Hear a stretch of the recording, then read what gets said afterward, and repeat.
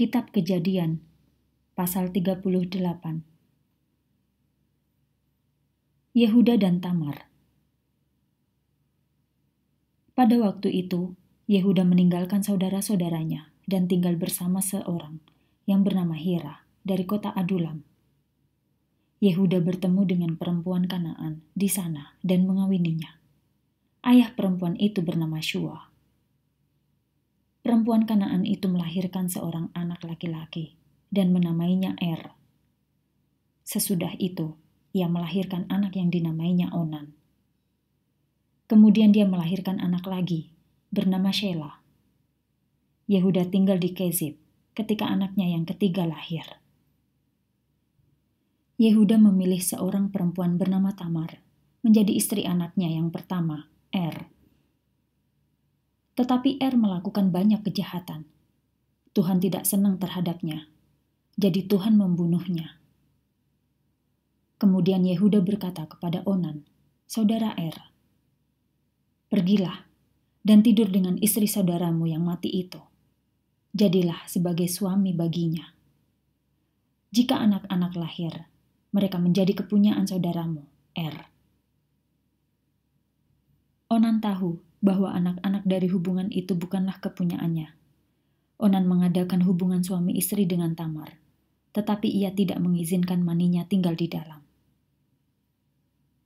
Hal itu membuat Tuhan marah. Jadi, ia juga membunuh Onan. Kemudian Yehuda berkata kepada Tamar, menantunya, "Kembalilah ke rumah ayahmu, tinggallah di sana, dan jangan kawin hingga anak bungsuku Shelah dewasa." Yehuda takut bahwa Shelah juga akan dibunuh seperti saudara-saudaranya. Tamar pergi kembali ke rumah ayahnya. Kemudian hari, istri Yehuda, anak Shua, mati. Setelah masa berkabung habis, Yehuda pergi ke Timna bersama temannya, Hira, dari Adulam. Yehuda pergi ke Timna untuk menggunting bulu dombanya. Tamar tahu bahwa Yehuda mertuanya, pergi ke Timna menggunting bulu dombanya. Tamar selalu memakai pakaian yang menunjukkan bahwa ia seorang janda. Jadi, ia mengenakan beberapa pakaian yang berbeda-beda dan menutupi wajahnya dengan selendang. Dia duduk dekat jalan menuju ke Enaim, sebuah kota dekat Timna. Tamar tahu bahwa Sheila anak bungsu Yehuda sekarang sudah dewasa tetapi Yehuda tidak berencana untuk mengawinkan Tamar kepadanya. Yehuda berjalan-jalan. Dia melihatnya, tetapi ia menyangka bahwa Tamar seorang pelacur. Wajahnya ditutupi dengan selendang, seperti seorang pelacur. Ia pergi kepadanya dan berkata, "Biarlah aku mengadakan hubungan suami istri dengan engkau." Yehuda tidak tahu bahwa ia adalah Tamar, menantunya ia berkata, Berapa akan kau berikan kepadaku? Jawab Yehuda, Aku mengirim seekor kambing jantan muda dari kawanan ternakku kepadamu. Ia menjawab, Aku setuju dengan itu, tetapi terlebih dahulu engkau harus memberikan kepadaku suatu pegangan sampai engkau mengirim kambing jantan kepadaku. Yehuda bertanya, Apa yang engkau kehendaki kuberikan kepadamu sebagai bukti bahwa aku akan mengirim kambing jantan kepadamu. Tamar menjawab, Berikan kepadaku meterai dan kalungmu yang engkau pakai pada surat-suratmu, dan berikan tongkatmu kepadaku. Yehuda memberikan itu kepadanya. Kemudian Yehuda dan Tamar mengadakan hubungan suami istri, dan Tamar mengandung. Tamar kembali dan membuka selendang yang menutupi wajahnya lalu dipakainya pakaian khusus yang menunjukkan bahwa ia seorang janda.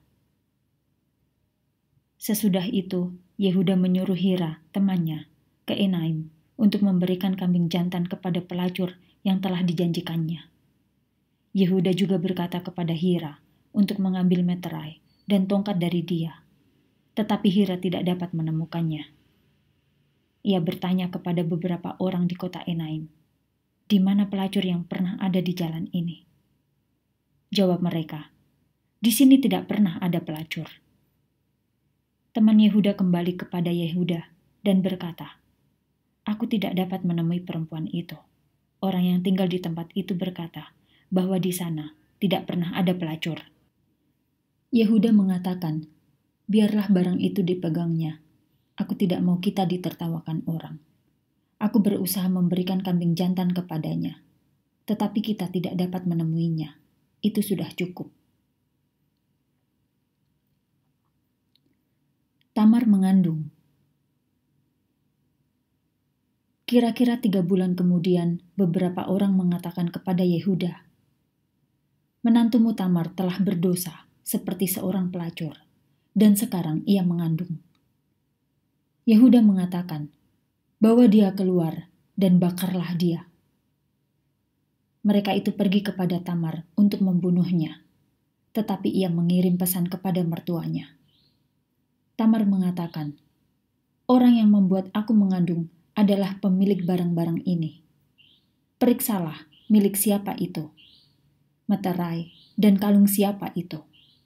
Tongkat siapa itu.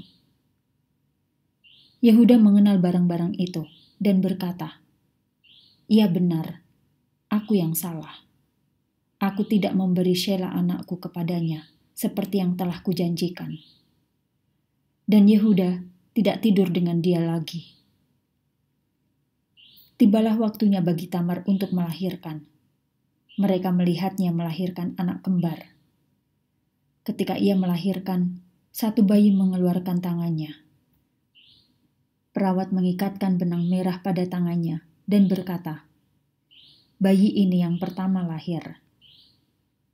Anak itu menarik tangannya kembali ke dalam, sehingga bayi yang lain itu lahir lebih dahulu.